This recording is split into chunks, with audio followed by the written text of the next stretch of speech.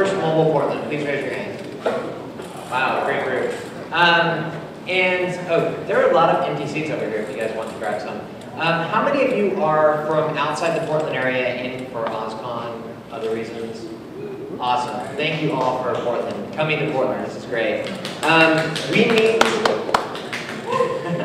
we meet once a month uh, to talk about mobile. It's based on an international organization called Mobile Mondays.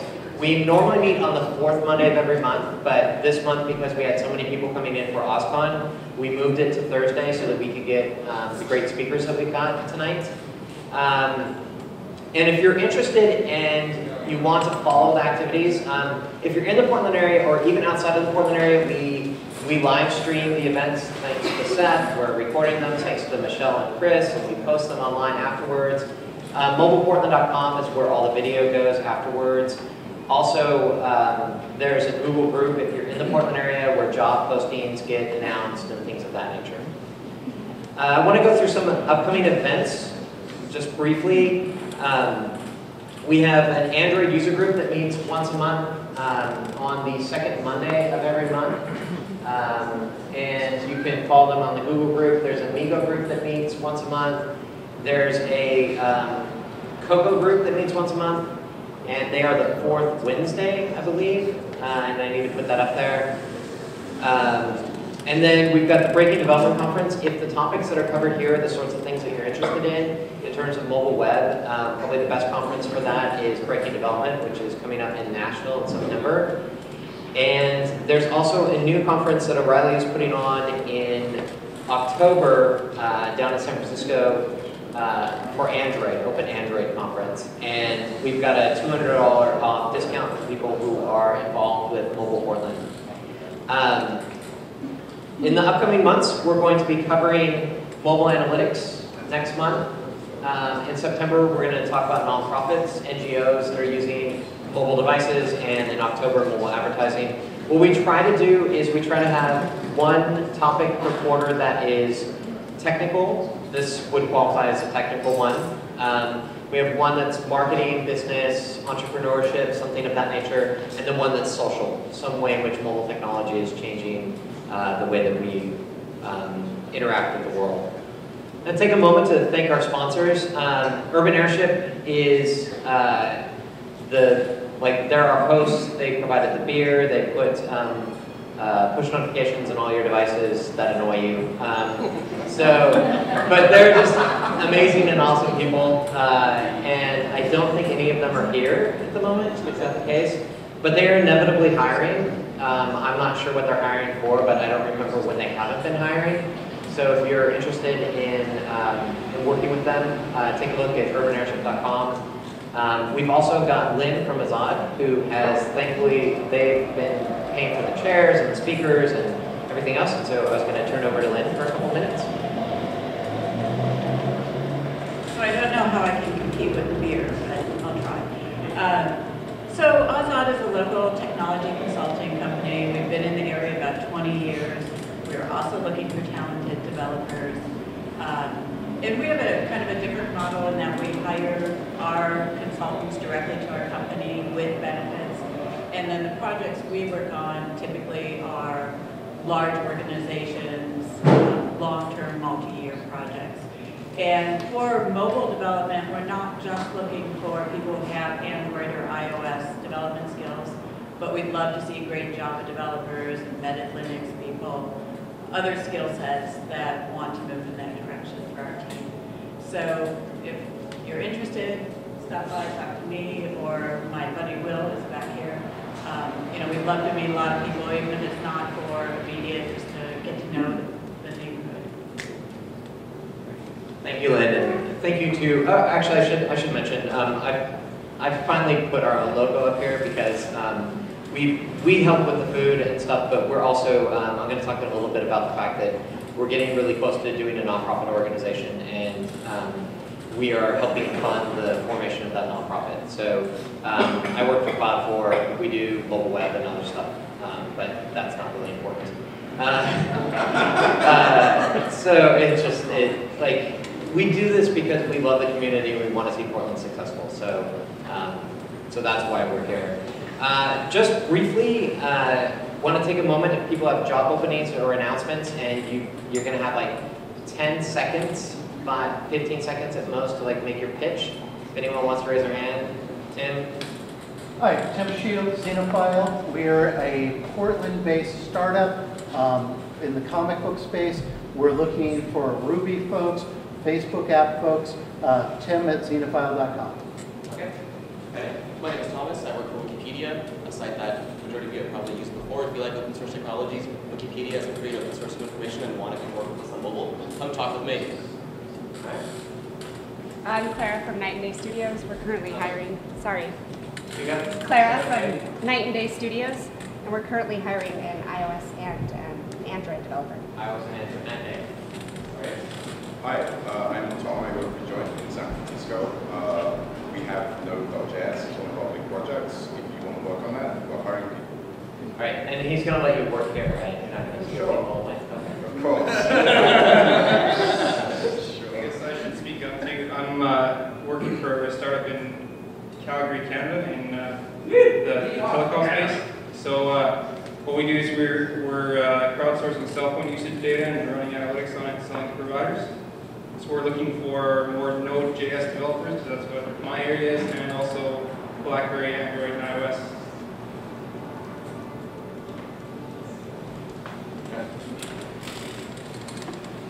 Mike?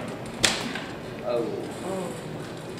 I'm Rob, I work at Ziba Design in Portland here. We're looking for senior developers, what we call kinetic designers, uh, who can prototype apps of any sort, and also senior interaction designers.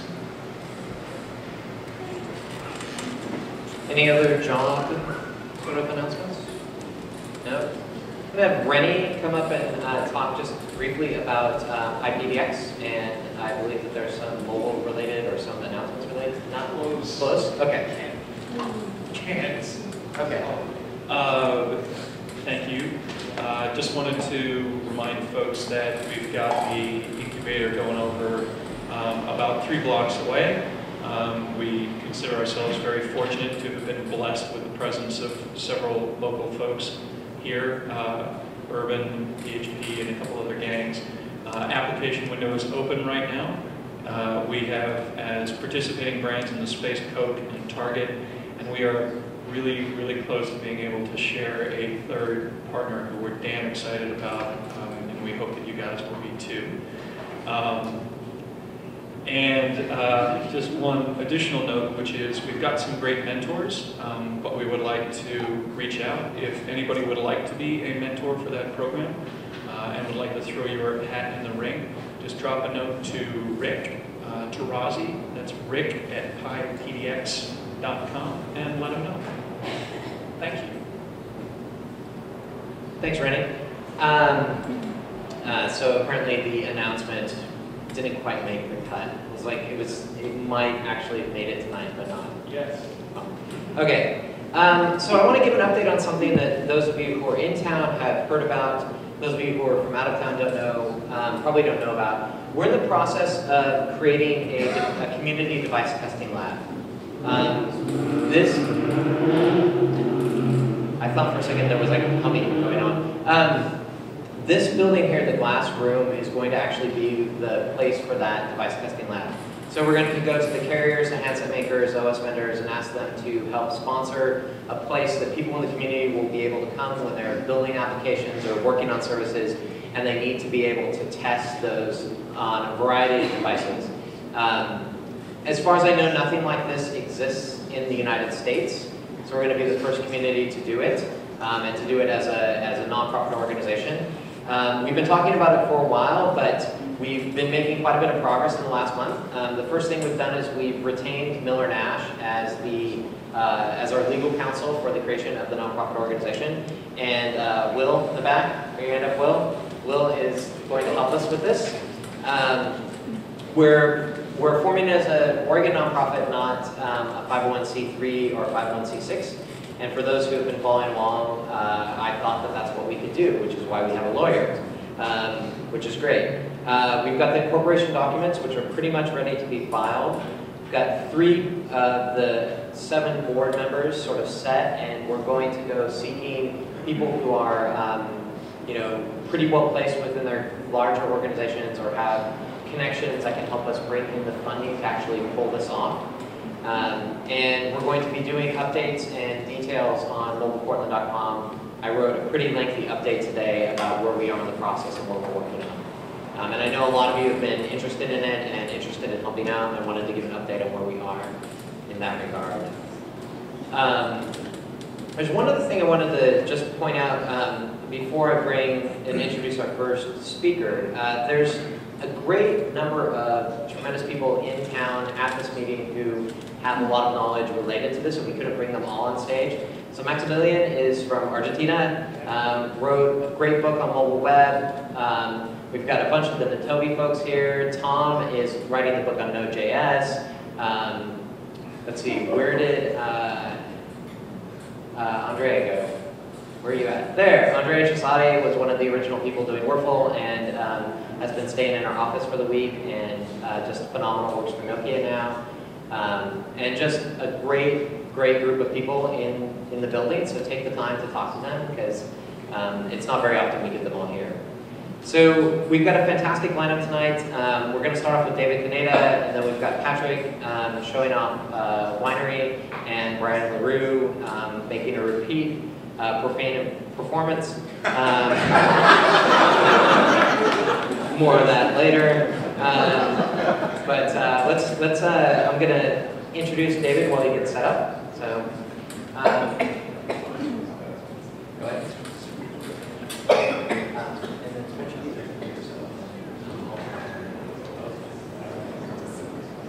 Um, oh, you. Uh, so David is the creative director for Sencha Touch. Uh, before he started, or before he started at Sencha Touch, he was the creator of the jQTouch library, which a lot of people have used to build really successful um, mobile web applications. Um, I remember talking to somebody about working with Sencha, and they said that essentially the best thing about working with Sencha is that you get David as your designer, and you really can't go wrong with that. Um, the other thing is, is that we share an affinity for Raphael Saadiq, um, and uh, if I could have planned it, I would have had him march into that music. How many people know Raphael Saadiq? Yeah. So good. All right, so please join me in welcoming David. Good David.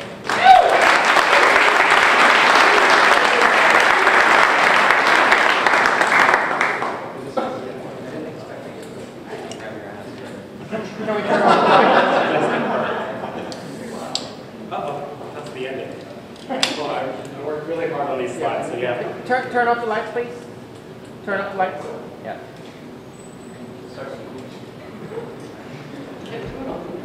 Uh, Hi, I'm Dave. So my company, Sencha, uh, we're in the Bay Area. We're hiring JavaScript developers, uh, designers, UX designers.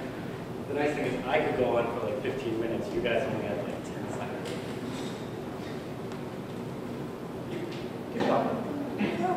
Um, so we're going to talk charts. Here we go.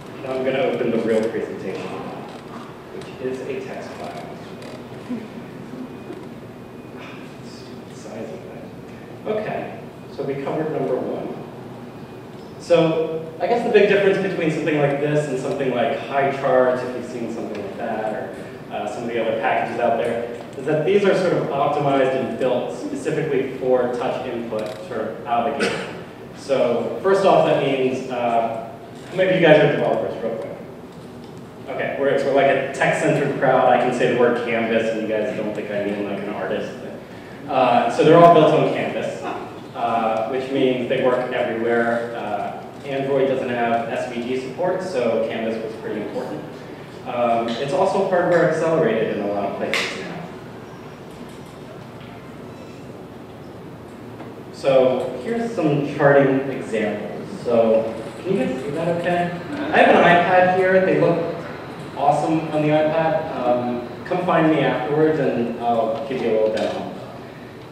But basically, we can do things you know, with touch that we weren't able to do before just on the desktop. We can do things like saying if we swipe across a row, change it from being a bar chart to a stack chart.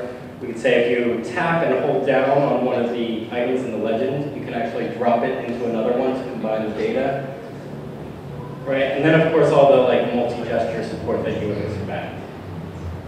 And you can pan and, and so normally actually this happens you can pinch to zoom, and then you can actually pan around with one finger. For the desktop, we have this sort of like hackish button in the top right that sort of takes care of it. So, whoop, not that one. Okay. Yeah, so we have things like rotation. Uh, you can select pieces and then use gestures to expand the selection. Uh, if we come back,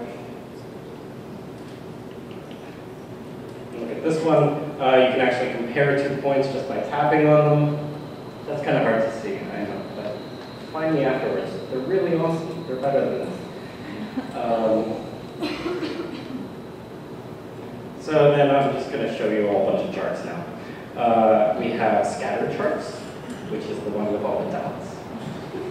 And you can use like plus signs and crosses and all that stuff. Uh, radar charts, which we just recently made it so that you can actually rotate those guys as well. I don't know if you combine these. No, not yet. Soon. Line charts. And look at the animations. They're like really sick, right? Super smooth. What's that? Speak up, you can't be embarrassed now. Um, yeah. The gauge chart, which is kind of fun. And so they all ship with animations by default. You can change the easing however you want. You can customize the animations. All the interactions that I've been showing, you can actually customize. You could say, for example, here, we have it so that if you tap and hold, not here, sorry, here, if you tap and hold, you get like a little info card, but you could easily say that only comes up on double tap, you could say that comes up on a swipe, um, and all that happens with just a few lines of code. So I guess since you are all developers, let's look at code.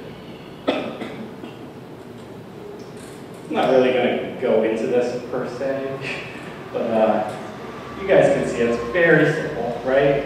Who knows JavaScript? All right, so it's like, it's basic JSON format. We're specifying uh, a data store, which is a sort of Sencha Touch philosophy that you know just holds all your records together. Uh, that data store could be loaded over a server. You could be pulling the data for these charts from the Twitter API. You could be pulling from your own server, or you could just have some static XML file on your server. Um, but then basically we just tell it what's the title, what, what is the, what are the axes going to be, uh, what type of interactions do we want to use. And that's pretty much it.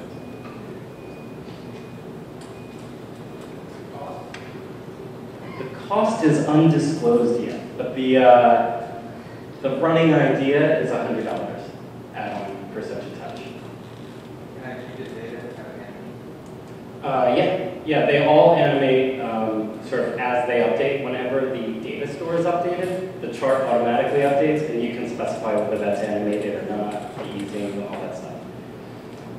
The, as a designer, the coolest part of these charts, does anybody know Sass, SCSS, that kind of thing? Uh, so we actually built our own preprocessor, uh, CSS preprocessor, um, built on the Sass syntax, so that you can actually style all the pieces of the chart in what looks like CSS. And this is really hard to see, I apologize. Um, but essentially, if we wanted to, you guys can't read that, but uh, if I change the colors attribute on the chart element, uh, You switch to a white background. There's an invert. yeah, that's a good idea.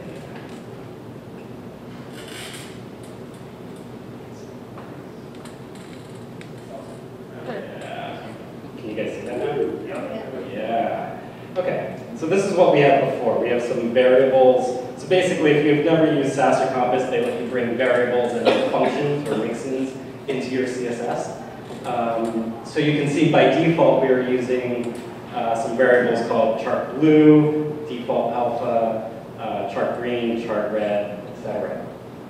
If I change all those to only use another variable we have laying around called base color, uh, I can say the series basically, I'm just lightening it a little bit every time, or actually darkening it. So I'm lightening it 30%, then 20%, then 10%, right? And if I do that, and then I do have to uh, build things. And let's go into the combo example. Right, you can see all of the uh, series are now based off of those colors. Right? Super easy. And it's CSS, so if, if you have a designer laying around, they can use it. They don't have to like write in JavaScript. Um, taking that a bit further, so we actually use the exact same system in Sencha Touch and let you customize the entire output, the entire display of our application framework uh, with this CSS system. So if we actually merge the two together, I have some random variable file that, that's actually feeding the CSS and the chart uh, CSS. Uh, and let's just say we're making our base color green.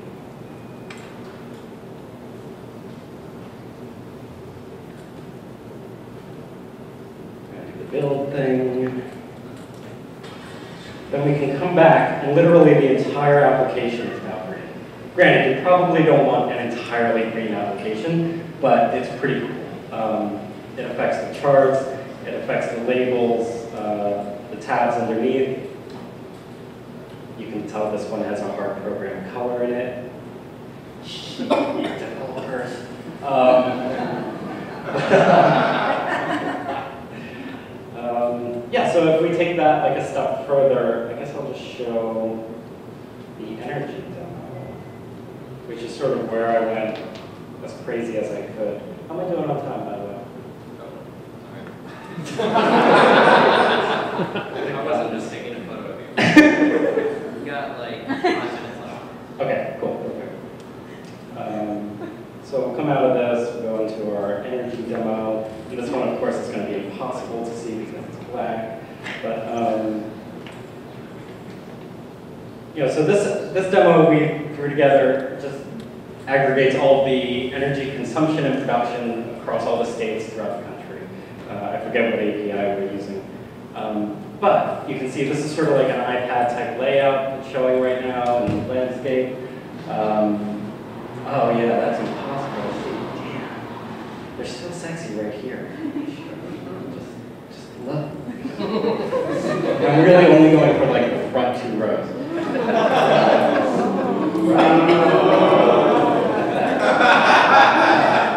That's all I wanted. Um, so here I set up like the little DJ booths so you can do both of these. Right, Animated, as you can see. Actually animate as we switch things. Um, so that's generally it. Let's go back to the slide deck. Oh, hold on one second. If I put this down, will it, will it freak out? I don't think so, but I didn't think the other thing would either. Uh, Do you guys have like iPads and iPhones and all that kind of stuff, Androids on you? All right, let's do this.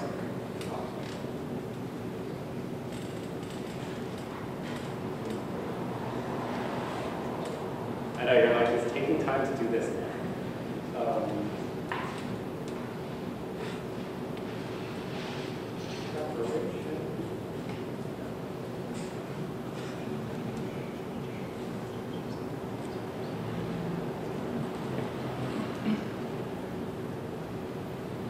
Nice. Okay, j.mp slash touch dash charts.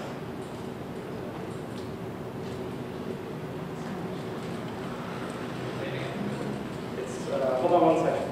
Let's see if I better do it.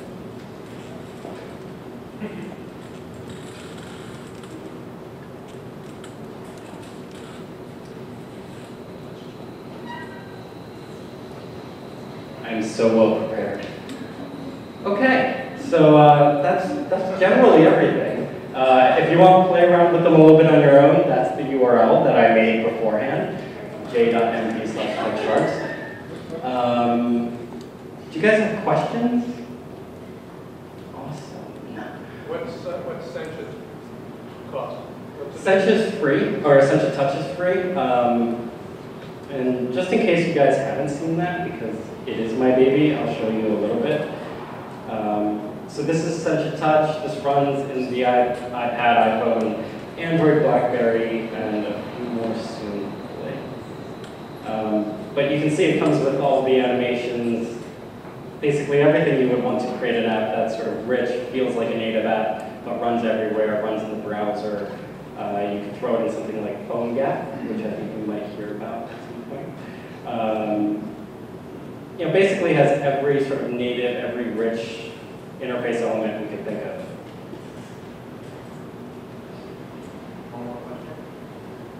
Anybody else? Yeah. So you put this in like a UI web view, does it still work as well? Yeah, um, Brian would know better than me if they have Nitro back in web views or not, which I imagine is the root of your question. Um, What's the question? is Nitro back in the web view or no? Uh, no, Not at all? no. Not, not in five? I left one screen on. Oh, they put it back in the home screen, but not in the web view. Yeah, so not, not in the web view. But I think, It's still in beta, so you can go. I think it'll come back. Yeah, chill out. Yeah. Slow down eventually. I don't think they're gonna hinder the web views and the apps. Really, it's, it's stop reading junk, you're free to. But he's from Philly.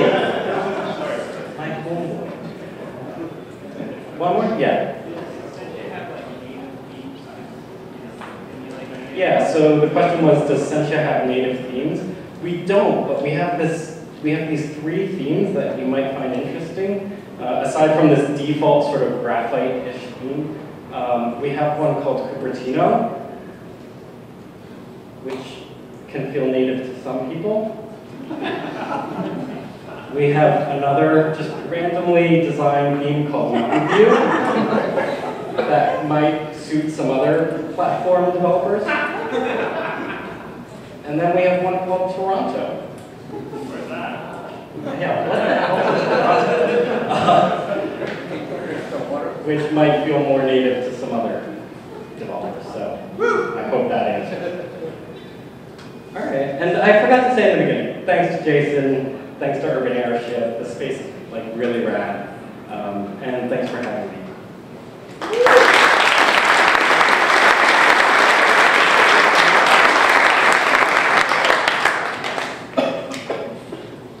All right, so while we're doing the change up, um, just a bit of fair warning, uh, we're going to try the lav mic again. I know, I'm sorry. But uh, Patrick has a lot of stuff that he wants to be able to type while he's doing, and, and doing that um, with one hand is a little difficult. So um, Patrick Mueller is, uh, works for IBM, is a WebKit contributor, uh, but perhaps more importantly, especially for our purposes, he has done something that I find particularly magical. Um, and I don't, I don't want to quite ruin that experience for you if you haven't seen it. Um, but I feel, I felt the same way about this, the way that I felt the first time that I was able to print to a printer that was in another room over a wireless network. And, and still feel that way about that. Um, and so, uh, Let's see. Something works. Does it work? Can you hear me? Oh, there we go. you, you might need to be volume up. Hello, hello. Is that okay? I can just talk louder?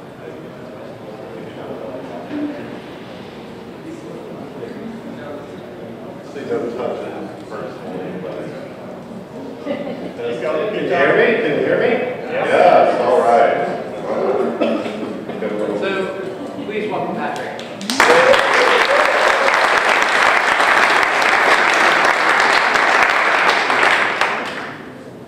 All right, I, um, I did a presentation, uh, oh, the other day at, um, OSCON, and the presentation, there's a PDF version up at OSCON, and we get Greg's to post it somewhere as well. It has a lot of, uh, links and pro tips and et cetera, more information than you need, but, um, it- it's a, it'll be in reference for you if you're interested in this. I don't think I'm probably going to use much of the presentation, though I'm just going to run a demo. So the, um, the basic idea here is that um, I, I've done uh, some work on Web Inspector, uh, which is part of WebKit. It's the debugger that you use in Safari. It's actually called Web Inspector in Safari. In Chrome, it's called Chrome DevTools.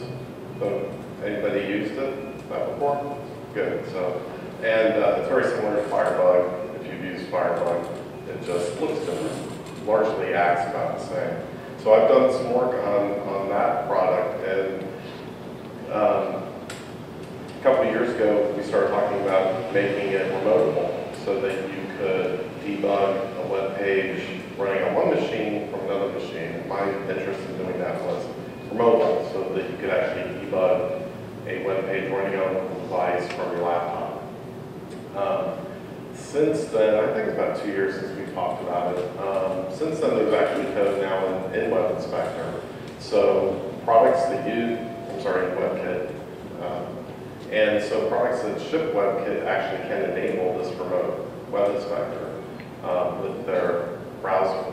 Right now, RIM is the only person that I know that ship, actually shipped it. So if you have a RIM play, and only on the playbook right now, you have a RIM playbook, you can actually debug it with regular old Web Inspector essentially um, on your laptop. It's very cool. And, and if you ever get a chance to see a demo of it from uh, RIM employee or something, check it out. It's, it's awesome.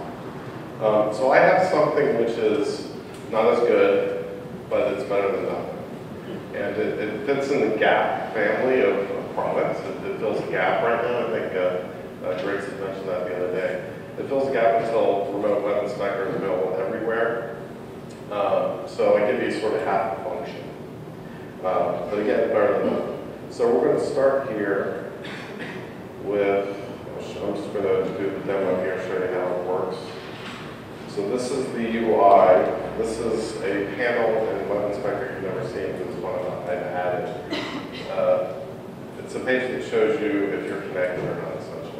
So let me, I'm going to do this on a um, iOS simulator, because that's the easiest thing to do. So we go to my demo here, and we're gonna see that turn green, kind of hard to see that green, but um, sort of popped up and turned green, that meant it's now connected. So now I have my, my, um, my target, debug target running in, in the simulator is now connected to the debugger. So I can click on elements, and just like in real web inspector, I can see the elements. As I mouse over, yeah, you can see that. Uh, the, there's highlighting over the elements, which show you the uh, border padding, padding, margins, etc. Uh, then you can do some amount of stuff like edit text inside, now get updated. You can delete an element, and there's other stuff you can do with element um, properties and whatnot.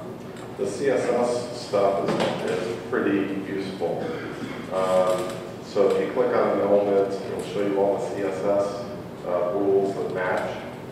So in this case, we see I have uh, color defined for all H1, but it's overridden by this one because it has a blue class on it. I can disable that temporarily and it'll show as green. Um, and then you can edit these as well. So I can change this to uh, black. Maybe you can't even uh, change, but it changed. Looks like it changed here. Um, so go ahead and set that back to blue. Um, you can see all of the styles that are in place for this sort of all in one place. And then see even all of them that are defaulted. And it's kind of scary that every element has these CSS properties. Um, normally you would never see that, but sometimes this uh, computed styles is pretty useful. Some other stuff we can do on this page, uh, we can actually see the rectangles for the border padding and margin um, in the, in the usual web inspector view. You can see properties of the DOM element. Unfortunately, the classes are not displayed uh, properly. A bug. Somebody should write a bug against this product. Uh, but, but you can see all the uh, attributes essentially the sorry, properties available on the JavaScript DOM element guy. And you can change those and, and stuff too. Um, I think that's it for the elements page. Um, so this is, if anybody's used Weinre before, this is the latest release, and, and I've, I've gotten rid of some of the stuff that we didn't support at all before and added database support. So we now support the SQL stuff. This particular app just does a few things. If I click the start button, let me click it a few times here. You can't really see it doing anything on the on the app but it actually did some things here. One thing it did was created a database that wasn't there before, and that just magically appeared as the database got opened. It also populated some stuff in this clicks database. So when you click on the database, you get a table dump um, of all the rows and columns. If you click on the database itself, you get a SQL um, a REPL, well, prompt to, to execute stuff. So I can say um, select date from clicks, and that will just show me the date column from the clicks table. I don't think you can edit any of this stuff, but there is a guy in the room who's using this. He's probably the expert on it now. Who, who is that? Expert. Yeah, there's the there's the SQL Weinre expert now. Yeah, yeah. Why I didn't just read. So. Um, then we also have uh, local storage and session storage support. So if I click on the start again, we'll see that some uh, values being updated. Uh, these are editable, so you can um, just replace those. Uh, let's see what else we got. Okay, so there's timeline. Not many people use this. It's not clear how useful it is, but it's kind of cool. So if I uh, stop it. To use this events timeline, you have to turn it on with the record button. It's down at the bottom there, it'll go red. And once you start doing interesting things, they'll get logged in, in this event view. I'm going to stop it so we can actually play with it a little bit. You can do things like zoom in on a certain time. And then some of these events actually have sort of multiple things associated with them. So here's a timer when the timer was created, and then when it fired.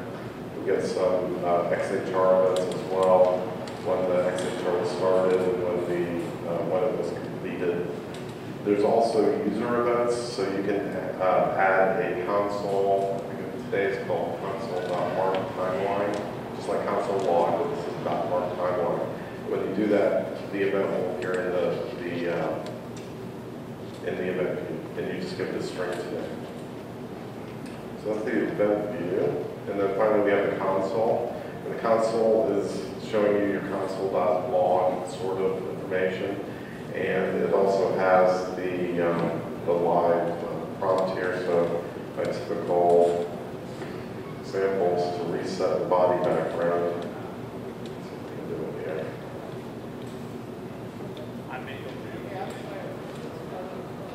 So I'm just going to type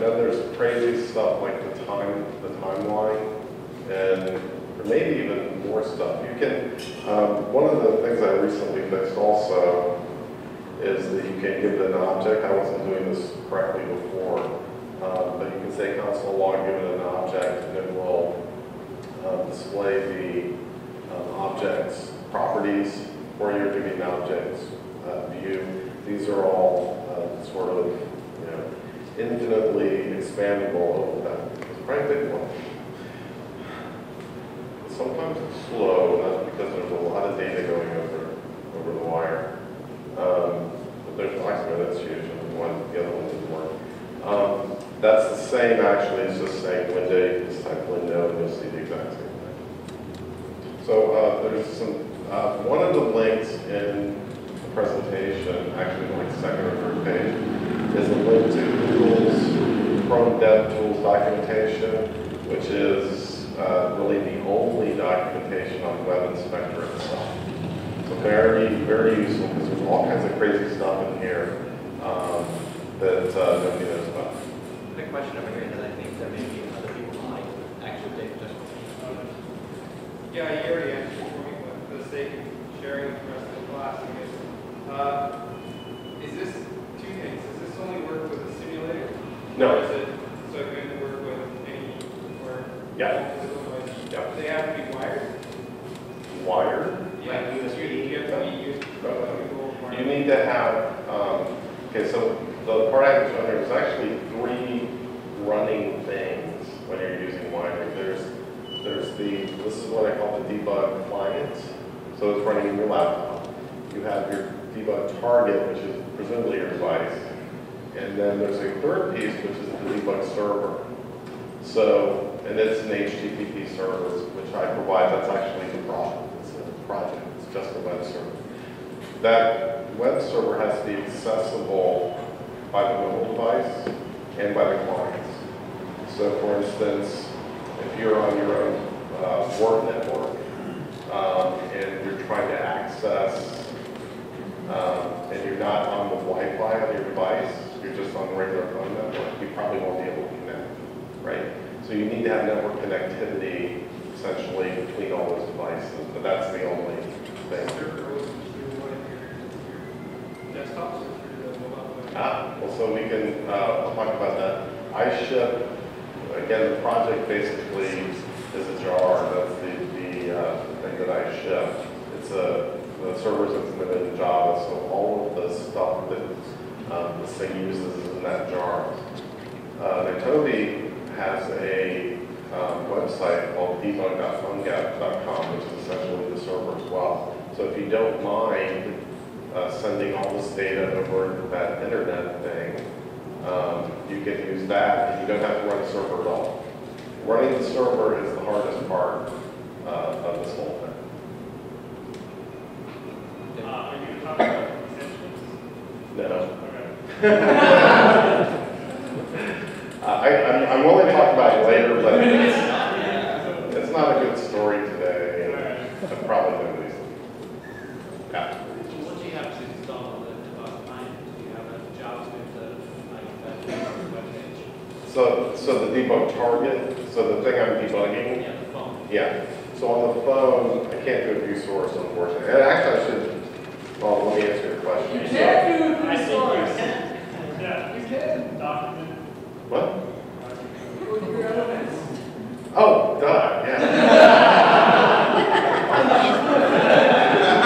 It's not view source. I, I- I actually, a lot of times when I'm doing a view source, I bring this up, I'm like, no, no, actually, I wanted the view source, right? Uh, but, but you're right, I can see the, essentially the source here. Um, oh, this is a bad one though, because the demo that I run, that's shipped with the server, does things a little differently. So I can't show this one. There's a, there's a, uh, you need to add a script source element to the web page you want to debug. And the, the value of that um, source attribute is a um, URL points to the server. And it's sort of a fixed name. You'll have to um, provide the server address. That's, that, that is the hardest part, is getting that server address. Uh, The presentation talks about some tips on how to uh, find that name, which is something that everybody runs into. Yeah. Work on non-web based browsers. Yeah, that's a great question.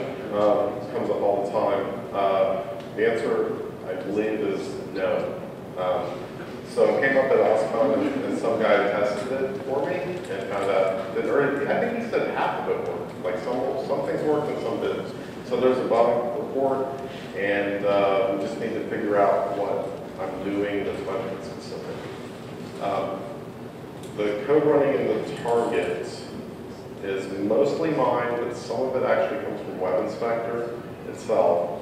And that's harder for me to change, although I'm, I've hacked around it a little bit. Um, So may or may not be easy to do, but it is possible. One one last question.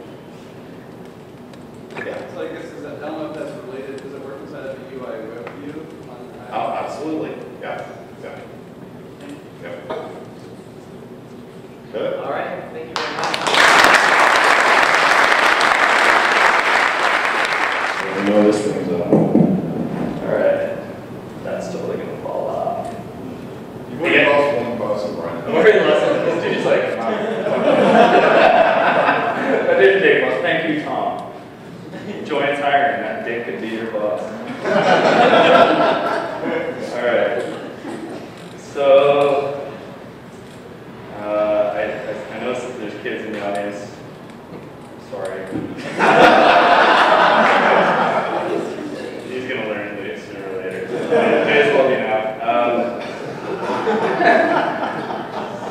How you guys doing? Good. Good. We'll make this pretty quick. Uh, two really tough acts to follow. David is an amazing designer. Uh, Patrick is some kind of crazy ninja from beyond. I don't understand everything that either of them do, but we love their work. So it's an honor to be here. It's, it's an honor to be back. I love Portland. Uh, beer is my favorite thing. Portland's good for that. So usually I have really funny pictures that you can see and you'll laugh at, but you can't even really see that, so it doesn't matter. You can download the slide later. It doesn't matter. It's my Twitter handle. No big deal. Uh, it's a funny kid laughing at others. This is like the fair warning slide. Um, sometimes I might use language that's not necessarily appropriate. Sorry if that bothers you. You can get the fuck out.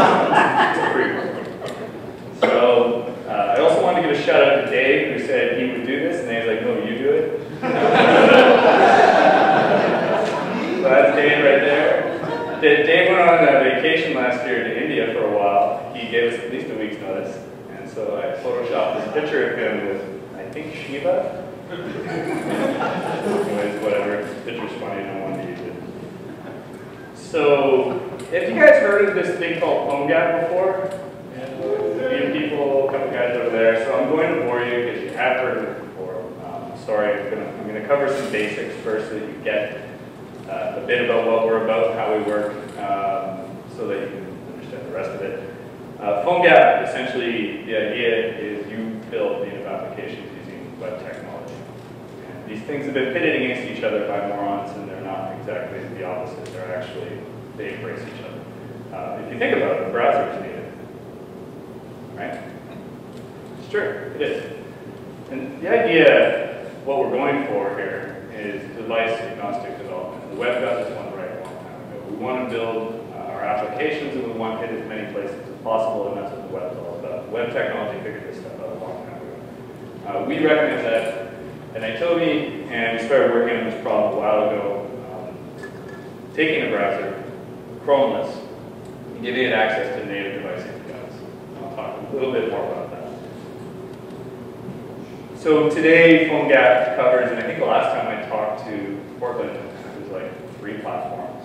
So now we're on six in Anchor, um, and we're working currently on adding support for MeeGo, which is an operating system you may have never heard of yet. Here, right here, there's a user group here for it, so that's cool. Uh, I actually, I actually have a MeeGo device, so if you want to check out MeeGo, it is, it is brilliant. And uh, I'm, I'm pretty bullish on it. So does Andreas. Yeah, so they're cool devices. If you get a chance, grab me or grab Andreas and check it out. Uh, this is something we're adding support for very soon in PhoneGap. And um, have you guys heard of this company called Microsoft? Remember them? Like, like a long time ago, they did that stuff. DOS and things. Anyways, they got a phone, it's all right. And uh, we're targeting that too. Uh, we're expecting to have support for Windows Phone 7 sometime in the fall. So this is a big advantage of PhoneGap. Uh, you offer your application and you get to debug it all these platforms. So it, it's super easy. Um, you need roughly 20 gigabytes of space to install all the SDKs that you need to develop for all these platforms. Uh, you need to have two operating systems, so you probably want to virtualize one of them. Um, you have to buy at least six phones. And then you have to master six different platforms. And so this doesn't sound like much of a selling point, and it's true it isn't. This is just the reality. As a mobile software developer, you've probably already dealt with this. Um,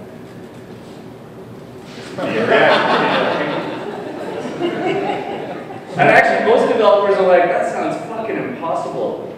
But are you going to buy me the phone? Maybe.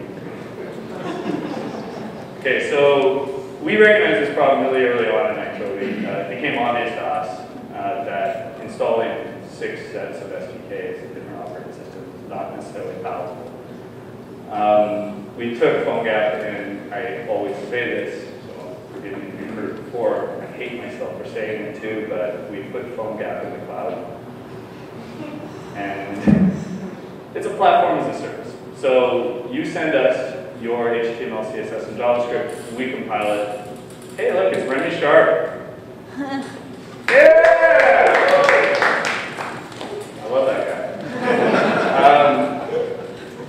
um, so PhoneGap build is what I'm here to talk about, but I'll also talk about PhoneGap uh, itself.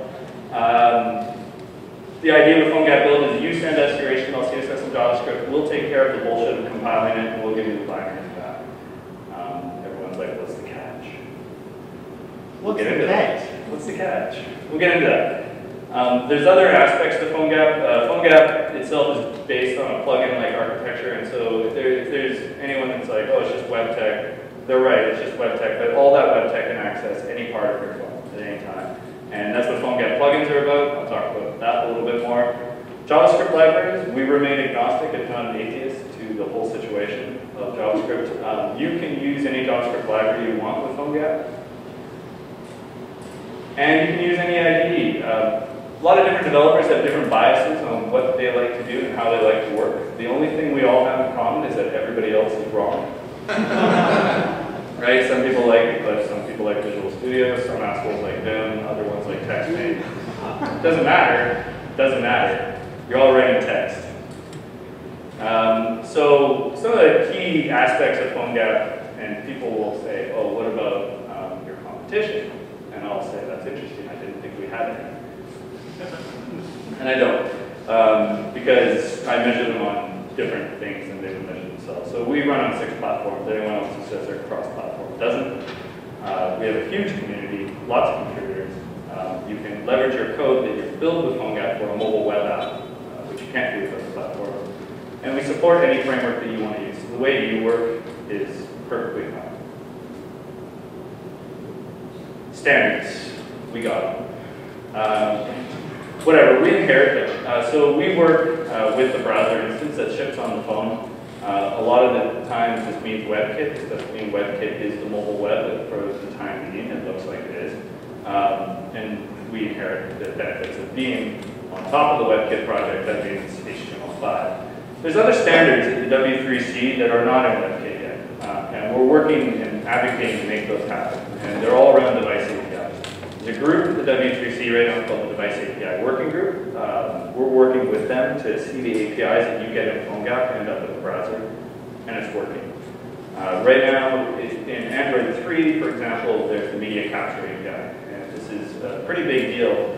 Uh, it allows you to access any of the media elements of your phone, so the ability to record audio, take pictures, video. Uh, Flash has had this for a really long time. It's finally being ratified into the standard and finding its way into the browser. You can do it today with PhoneGap, which is really cool.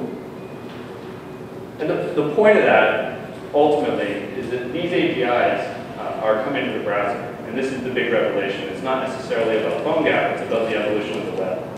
And so the direction that we're moving our project, it's a prototype implementation of the browser that you'll be using in the next few years. And so if you want to play with this stuff now, it's an opportunity to do it. I could list these off and talk about them, but it's pretty obvious what they all do. Whoa. Back in time. Uh, so the plugin architecture is a big deal. Uh, nice plug for Urban Airship. Thanks for having us here, guys. Um, push notifications is one of the things people ask us about all the time. Yes, PhoneGap is capable of doing it. Uh, it's done with the plugin, and you can do it really easily with uh, Urban Airship. Our other big uh, plugin, which will probably up part of the platform, is called the Child Browser. Uh, has anyone here done any OAuth? Two-step OAuth type business? People begrudgingly raise their hands because they're all crippled from typing too much. Um, so the Child Browser plugin gives you this capability. Um, so it's really popular, and as a result of that, we've seen a lot of single sign-on type stuff. Facebook has recently developed a PhoneGap plugin for the last sign-on. Uh, we're working with Twitter to do the same. Uh, native controls are another one that's really popular for iOS. Uh, we're not really usually in favor of people doing this, but if you do need native controls for a particular platform and are willing to accept the fact that you are locking into that platform, there's options for you. Okay, inbound, outbound, this is just like quick, we won't go too far on this. Apache license in, MIT BSD on the way out. If you care, all that means is that it's free for you to use commercially. If you want more information, just ask me, it's boring. But a lot of cool corporate numbers there. PhoneGap's popular. That's what you can get from that. um, so eh, when, you, when you're doing development, it'd be nice if it was just like I could rock with my text editor and things just work. They don't. You need tools to help you. Um, and the software developer's toolkit is fairly limited these days in mobile. Uh, it's not as bad as it was when we started this business. Um, Ripple is an emulator and it recently got bought by RIM. And it's quite good. It implements the PhoneGap API it's a Chrome extension. Um, that helps. Emulation is pretty good, but uh, Jason can attest, it, it, when you want to actually ship, you need devices. So devices are key.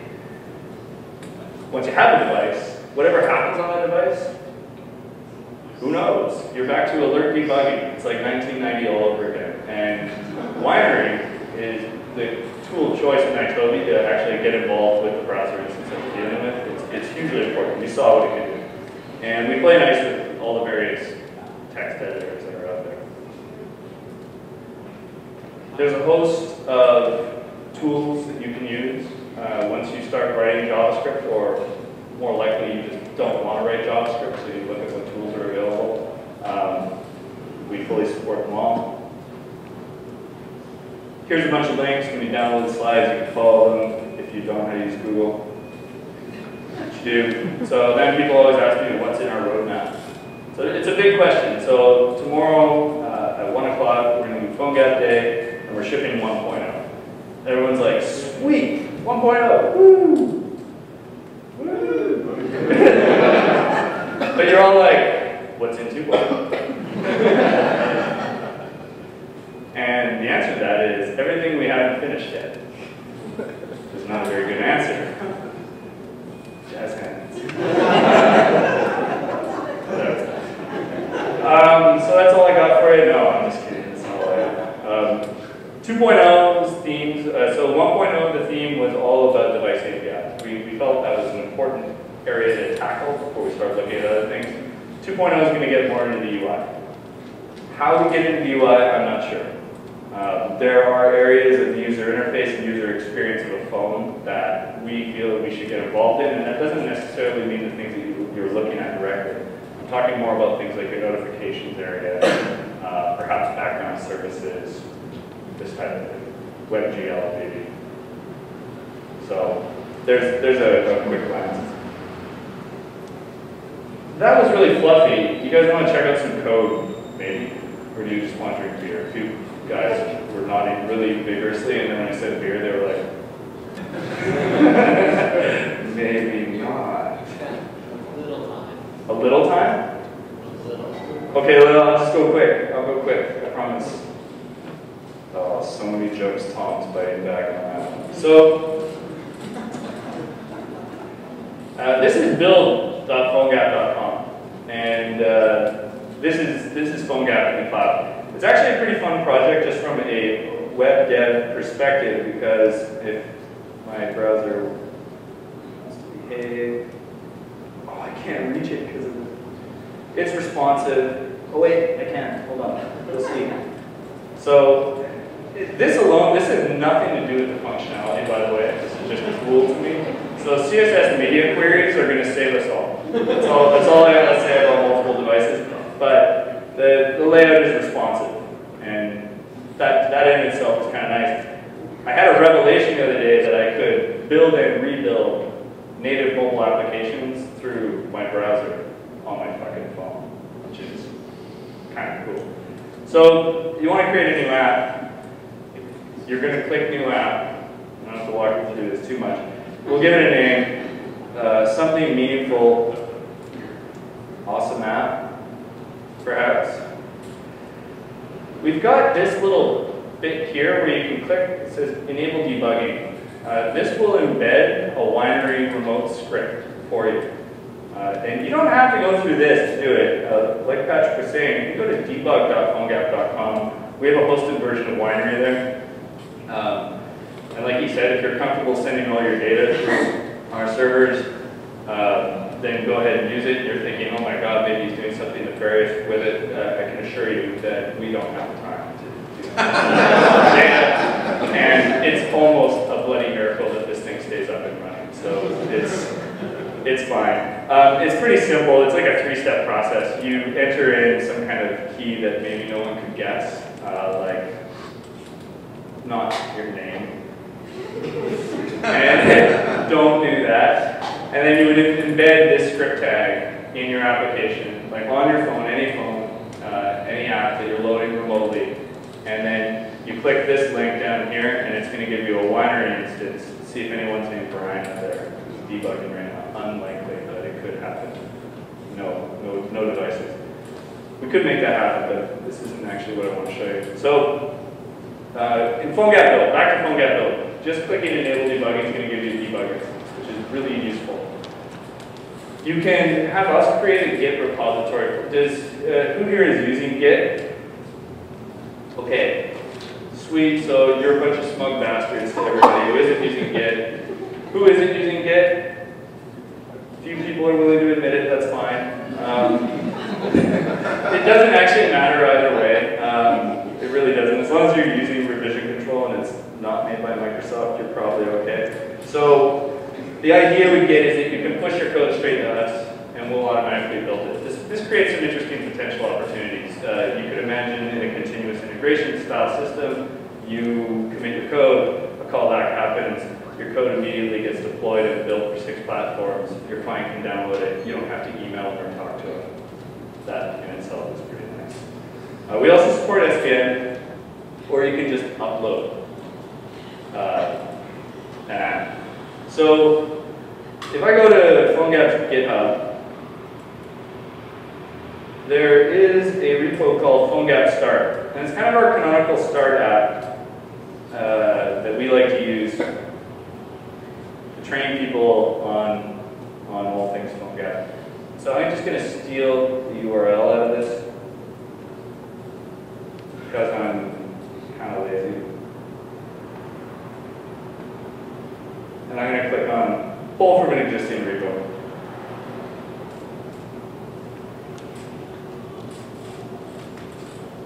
And if I have enough network connection, really? Do I have to give it the HTTP, or do I give it the Git? Fully HTTP ASCII. That's why.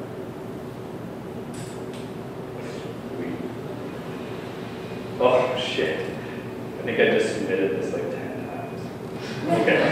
That's fine. Let's see how many apps I get out of the deal. Yeah.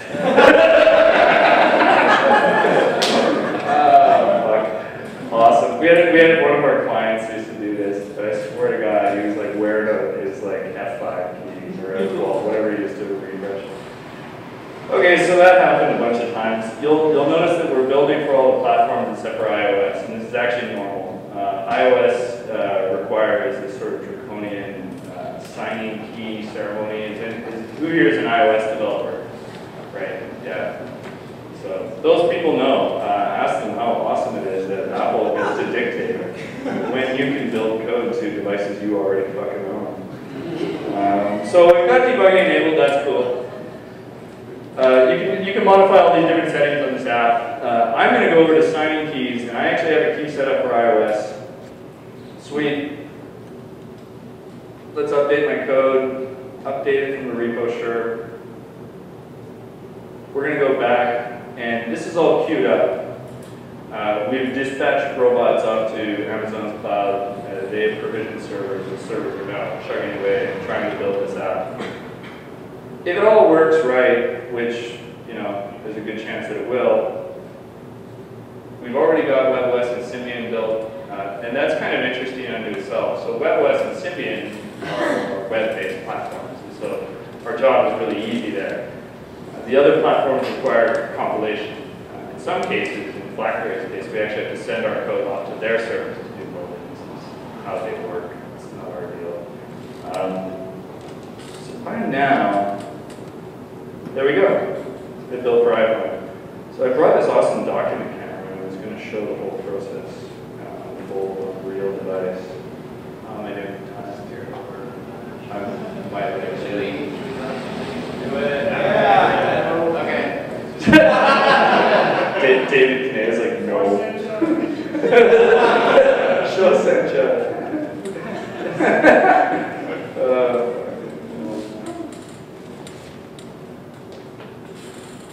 I was worried I was going to go too fast. I didn't. Yes, these emasculating bags are crazy. my, my girlfriend, she's like, I used to just, I've got like, I've got a lot of shit in my bag, right? And so I used to just like hunt around for what I was looking for in the bag, and I'd like pull out this rat's nest of cables and shake phones out of it. that wasn't necessarily working so well. So um, Joni, Joni gave me these bags, and now everybody makes fun of me. You. You, you lent them to me.